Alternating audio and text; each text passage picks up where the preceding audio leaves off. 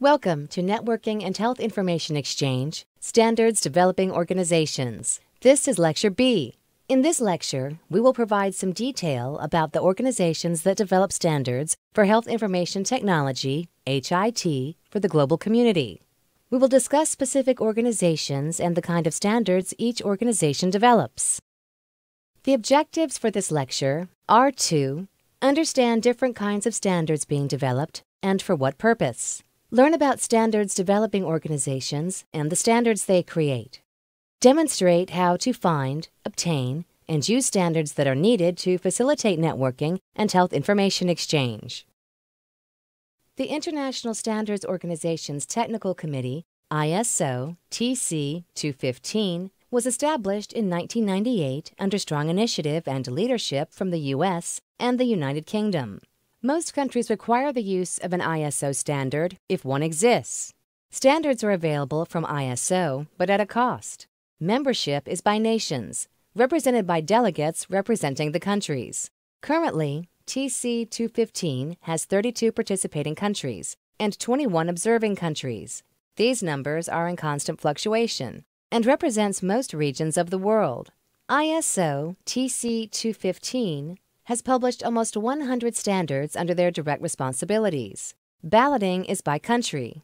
Products are technical reports, which describe and discuss a topic. TRs are for information only. Technical specifications, similar to a standard but does not require compliance. A TS is a strong suggestion. International standards, known as a normative document, must be followed explicitly to be compliant. Any departure from the standard is non-compliant. ISO has many technical committees, and several are of interest to healthcare. Other TCs are represented in TC 215 through liaison, 30 in number. Other organizations can also establish liaison relationships with ISO. 10. Liaison members of TC 215 include CDISC, COCIR, DICOM, GS1, HON, ICN, IHE, IHTSDO, EMEA, and WHO.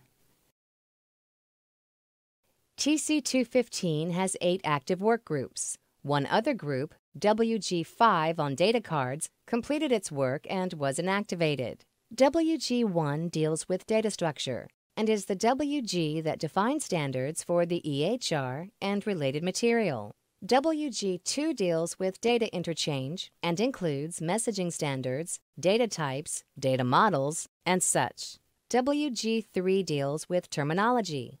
WG4 deals with security. WG6 deals with pharmacy, regulatory, and adverse event reporting standards. WG7 deals with connectivity to medical devices. This group works closely with IEEE and CEN on standards that connect medical devices to systems. WG8 is similar to WG1. Sometimes the distinction is difficult to define. This WG deals more with what an EHR is rather than its structure and architecture. WG9 is a different type of WG in that its purpose is harmonization of standards activities among multiple SDOs. It is closely affiliated with the Joint Initiative Council, a collaborative organization of many international SDOs. The European Committee on Standardization, CEN, has a bilateral agreement with ISO called the Vienna Agreement, whereby CEN standards can become ISO standards and ISO standards can become CEN standards. HL7 International has a pilot agreement through which HL7 standards can be submitted to TC 215 to become ISO standards. IEEE has a partnership agreement through which IEEE standards can become ISO standards. The Joint Initiative Council was formed in 2007 by ISO, CEN, and HL7 International. SDOs subsequently joining JIC include CDISC, IHTSDO, and GS1.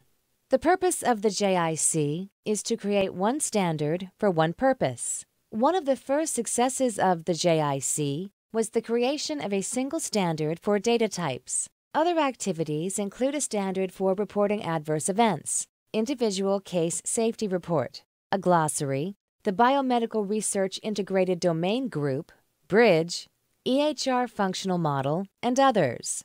A standard moves to JIC when multiple SDOs have an interest in creating the same standard and the SDOs agree to work together.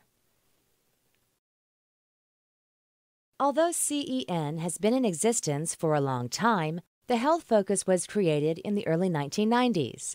The acronym CEN comes from the French name of the organization, Committee of European Normalization. The 27 member countries of the European Union are members of CEN. CEN has published over 160 technical reports, technical specifications, pre standards, and European standards since the early 1990s. 18 of these standards are jointly published as ISO standards. Much of the standards work in CEN is done by paid consultants. Balloting is by country. CEN functions with four work groups. WG1 is similar to ISO, WG1, WG6, and WG8. WG2 is similar to ISO, WG3, WG3 is similar to ISO WG4. WG4 is similar to ISO WG2 and ISO WG8. EN means European National Standard. The reference model defined in Part 1 is different than the HL7 reference information model and has created some harmonization problems. Reference information models are important because they are the basis from which the data parts of standards are created and are key to interoperability. Part 1 also defines the architecture for the EHR. The EHR is defined as a hierarchical structure of components or folders, similar to a paper chart in which a single encounter would be a folder. The collection of folders would create the EHR. Archetypes are data structures, such as the components that are part of a blood pressure measurement. The UK uses these archetypes as a key part of data definition and data interchange. Europe is now moving toward the use of archetypes. Again, there is competition between HL7's detailed clinical models and templates. However, efforts are being made to harmonize these activities. Part 5 competes with HL7 messaging standards and is in little use at this time.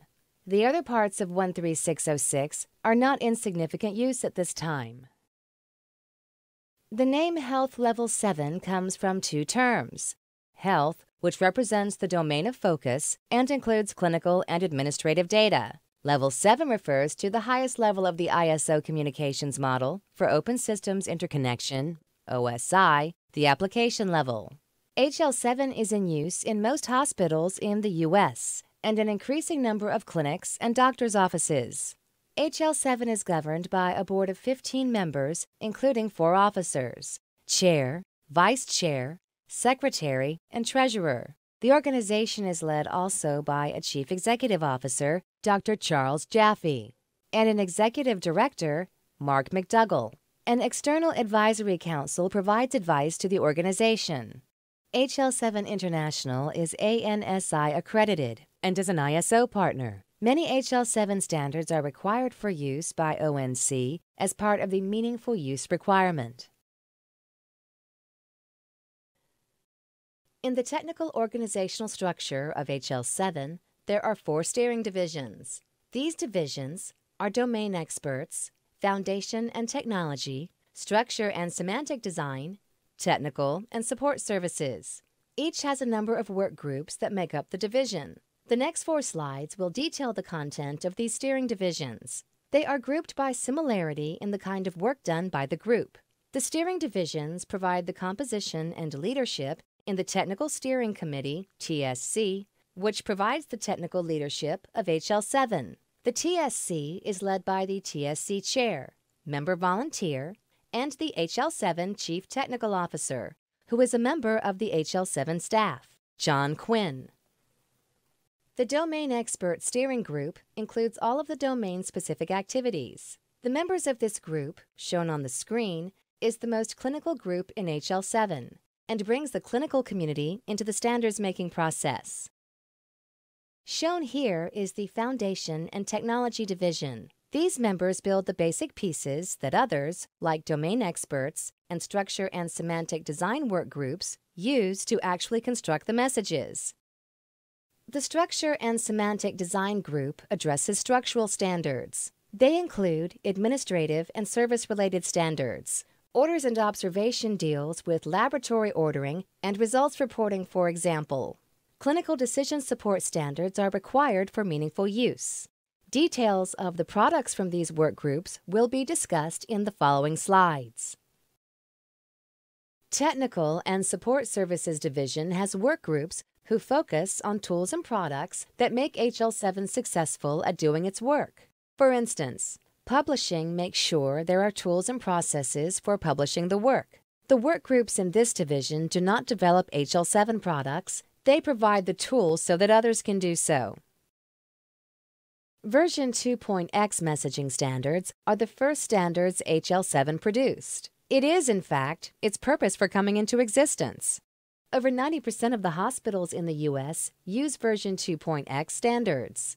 Version 2.7 is the latest current published version, and version 2.8 is in ballot. These messaging standards will be discussed in detail in another unit.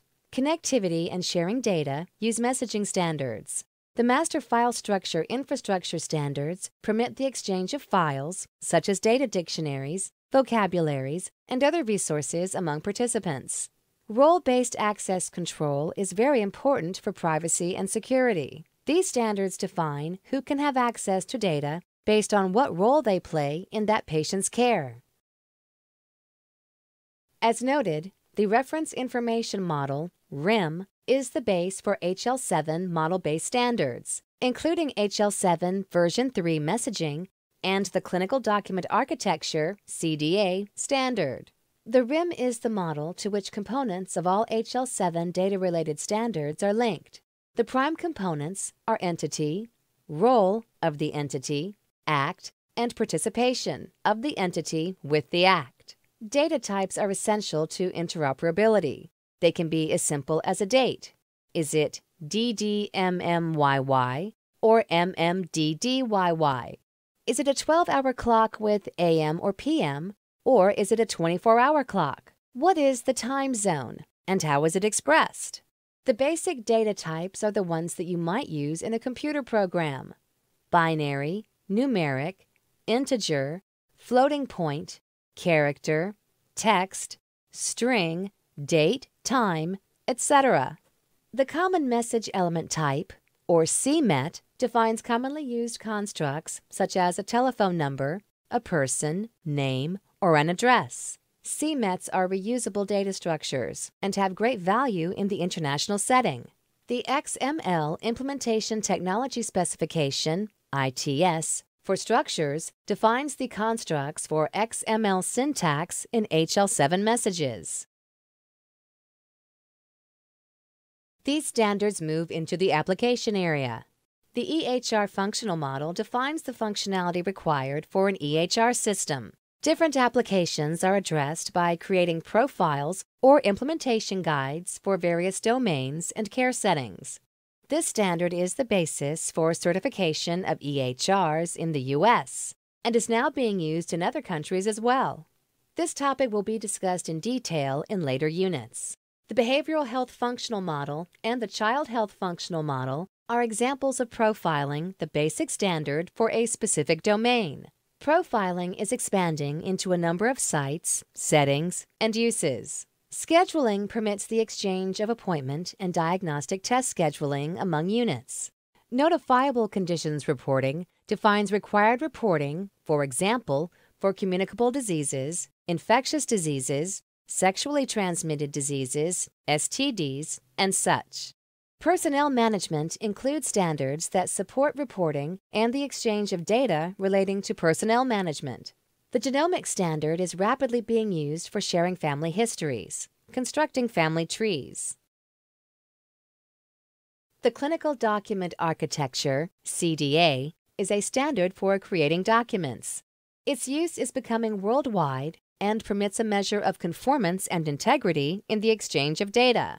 The CDA will be discussed in detail in a later unit. The Continuity of Care Document, CCD, is a specialization of the CDA, in a sense, an implementation guide for the exchange of summary patient data. HL7 has now produced a number of purpose specific implementation guides. The decision support products will also be addressed in detail in later units. Clinical Decision Support Systems, CDSS, are important not only for meaningful use, but for applying knowledge to data to provide information. The Arden syntax and the virtual medical record permit an SOA based approach to decision support through a map able to interface to any EHR. GELLO is the language for creating clinical guidelines. Info button is a standard for attaching knowledge and the presentation of knowledge for any data element. The standard has been quickly used by vendors to add value to their product. These regulated product standards have been influenced by regulatory bodies such as the FDA and European Medicines Agency, EMEA. Structured Product Labeling, SPL, is a standard for defining what you get on the small print piece of paper that is included with your drug package. It addresses such things as potential side effects, ingredients, dosing instructions, precautions, etc. SPL provides this data in a structured way to be used in a computable manner. The annotated ECG includes the tracing, measurements, and comments in a structured way. The Individual Case Safety Report, ICSR, serves to report drug caused adverse events. This standard is being used internationally by both FDA and ICH EMEA. The other standards relate to drug trials and for the submission of regulated products detail to the FDA. The Common Product Model, CPM, addresses expanding types of products, including devices and substances. The Clinical Context Object Work Group, CCOW, has created a set of standards that takes a patient ID and passes it to related systems, retrieves that patient record, and links it to the current system. In essence, this standard permits single sign on. The user is authenticated across the different systems. If a site is supported by multiple different systems, CCOW will provide access to the same patient's data across the different applications without logging on to that system and independently bringing up that patient's record. CCOW will provide access to the same patient's data across the different applications without logging on to that system and independently bringing up that patient's record. CCOW is a tremendous time saver. The other parts of CCOW provide additional functionality across multiple systems or applications. An implementation guide, IG, defines specifically what is required in the use of a standard for a specific purpose. The IG removes optionality. For example, it states what data elements are required and when. It defines specifically what vocabularies are to be used. It defines when data is exchanged. With a well written IG, interoperability can be achieved across the group using the IG. Some IGs define the rules for providing security using the Internet. Other IGs define security requirements for a variety of settings. For example, CCD is an implementation guide for exchanging patient summary data. Another example is the rules for claims attachments are defined by CMS. It specifies what clinical or administrative data are to be sent supporting the claim. Displayed here is a list of implementation guides being developed by HL7, and this list continues to grow. Several HL7 standards will be required by HHS as a part of the meaningful use. Named standards include HL7 version 2.5.1 Implementation Guide, Electronic Laboratory Results Reporting to Public Health, Clinical Document Architecture, CDA, Continuity of Care Document, CCD, Messaging Standard version 2.5.1 and Messaging Standard version 2.3.1. You are likely to encounter these standards in your job as an IT person. We will discuss all of these standards in detail in other parts of this component. The Clinical Data Interchange Standards Consortium, CDISC, is an organization started mainly by pharmaceutical companies. It is a research based organization created to support clinical trials. It is now international and holds meetings around the world. Most of the standards define data elements used in research and clinical trials. Study Data Tabulation Model, SDTM, defines data elements used in clinical trials. The CDISC Analysis Data Model, ADAM, defines statistical analyses performed on clinical trials data. Other standards include an Operational Data Model, ODM, Clinical Data Acquisition Standards Harmonization, C-DASH, a Lab Data Model, and terminology for clinical trials. Key GS1 standards include barcodes, ECOM, Electronic Business Messaging Standards for Automatic Transmission of Data, GDSN, Global Data Synchronization. Allow business partners to have consistent item data in their system at the same time. EPC Global, use RFID technology to track items in real time. If you work in a setting that uses barcodes, you are likely to use a GS1 standard. GS1 creates a unit identifier that can exist throughout the supply chain. Ideally, the standard will be used from product creation to product use. The GS1 ID system enhances traceability, the ability to trace a product throughout its life cycle.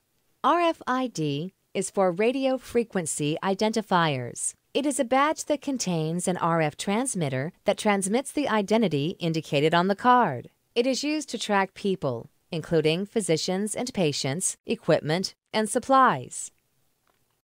This concludes Lecture B of Standards Developing Organizations. In this lecture, you learn that there are many SDOs, both national and international, that create standards necessary for interoperability. The challenge exists that there are both overlapping and competing standards, and there are gaps in the required standards. Each SDO has its own focus, but in time, most SDOs have creeping scope. It's interesting that we have so many SDOs because producing standards is an expensive task. Most SDOs have budgets in the million dollar range, and many companies spend hundreds of thousands of dollars annually to participate in making standards. Consequently, there are limited resources for creating standards. So why not work together? The making of standards has created other businesses, including consultants who teach you how to use standards and educators who teach you about standards. You won't remember the details of every one of the SDOs we discussed in this unit, but you will have some familiarity with the names and some idea of what kinds of standards are produced.